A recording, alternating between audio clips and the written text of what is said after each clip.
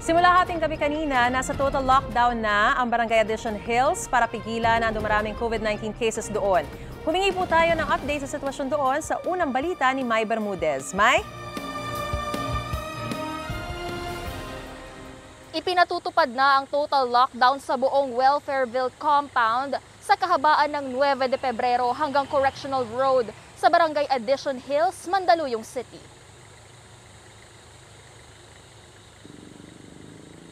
COVID-19 hotspot ang Barangay Addition Hills. Totally close ang lahat ng palengke, talipapa, vendors, all sari-sari stores. Talagang totally i-close po siya. And uh, wala na pong movement na mangyayari. May movement man mangyayari, ito yung mga essential workers na ina-allowed naman po ng ating pong uh, ng ating uh, executive order ng ating mayor. So as long as dala-dala lang po nila yung kanilang mga IDs na ipapakita na Mula ngayon hanggang May 13, bawal lumabas ng bahay liban kung may emergency. Pwedeng magpa-deliver ng tubig at LPG pero sa labas dapat ng Welfareville at magbabahay-bahay ang mga taga-kolekta ng basura.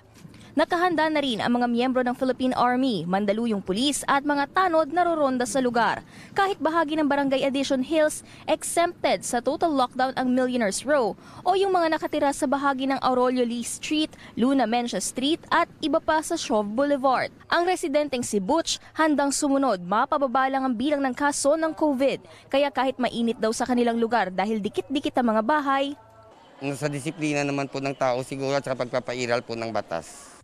Inabot naman ng alas 3.30 ng madaling araw ang pamimigay ng SAP subsidy sa huling batch ng kanilang 15,000 benepisyaryo. Ibinigay na po namin sa mga taga Addition Hills kasi po ay magla-lockdown po sila para rin po merong ah, gamitin o panustos ang ating mga kababayan dito sa Addition Hills doon sa kanilang 7 days na lockdown. Sa bigayan ng SAP kagabi, bahagyang nagkagulo ng may magwalang nakainom daw.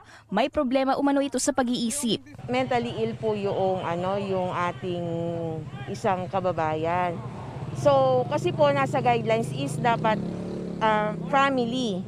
So since individual siya, meron naman po kaming maibibigay na sa kanya sa ibang paraan naman po. So mabibigyan po namin siya ng goods. Kung financial naman po, pwede po namin siyang ilapit kay Mayora. Inabot ng ulan ng ilan sa mga benepisyaryo na nakapila para sa ayuda. Hindi naman kami makatrabaho kasi yung asawa ko may hika.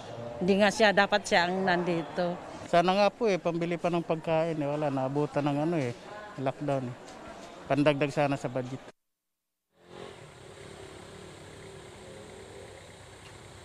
Ang mga mahuhuling lalabag sa panuntunan sa total lockdown ay bibigyan daw muna ng babala at kapag naulit ay ididetene dito sa Abyss Gym at ah, dito na rin sasampahan ng reklamo. Samantala, sa pagsasagawa nga ng total lockdown dito sa Barangay Addition Hills ay magsasagawa rin ng rapid testing ang City Health Office. Random selection ito para sa 3,000 residente. Yan ang unang balita mula dito sa Mandaluyong City. Ako si Mai Bermudez, buong puso para sa Pilipino.